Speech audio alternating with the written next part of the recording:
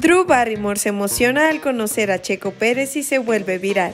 El pasado jueves, la destacada actriz estadounidense Drew Barrymore hizo una visita especial al circuito de las Américas, donde compartió momentos con el equipo Red Bull Racing y el piloto mexicano Checo Pérez.